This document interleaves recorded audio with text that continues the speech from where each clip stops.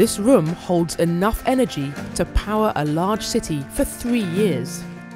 It's inside a very special bank in far eastern Kazakhstan that contains valuable nuclear material as a backup fuel supply for countries that rely on nuclear power. This secure facility was set up by the International Atomic Energy Agency and stores 90 tons of low enriched uranium in case a country is unable to get its nuclear fuel on the open market or by any other means. The uranium for this latest delivery originated in Kazakhstan and was processed in Russia before being transported by high security train to complete the bank's stocks.